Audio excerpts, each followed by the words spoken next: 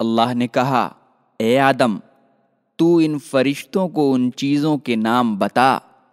جب آدم نے فرشتوں کو ان کے نام بتا دیے، تو اللہ نے کہا، کیا میں نے تم سے کہا نہیں تھا کہ میں آسمانوں اور زمین کی چھپی ہوئی باتوں کو جانتا ہوں، اور جانتا ہوں جو تم ظاہر کرتے ہو اور جو چھپاتے ہو؟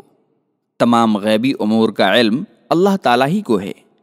اسی حقیقت کو یہاں بیان کیا گیا ہے کہ اللہ تعالیٰ آسمان و زمین اور ان کے درمیان کے تمام غیبی امور کو جانتا ہے۔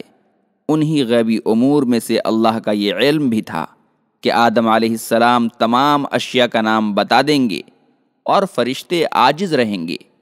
اسی ضمن میں یہ بات بھی آ گئی کہ آدم اور اس کی ضروریت میں خلیفۃ العرض بننے کے جن اسباب و مبررات کو اللہ جانتا ہے، وہ فرشتے نہیں جان سکتے۔ اور اس کا مشاہدہ بھی ہو گیا کہ آدم نے تمام چیزوں کے نام بتا دیے جبکہ فرشتے عاجز رہے۔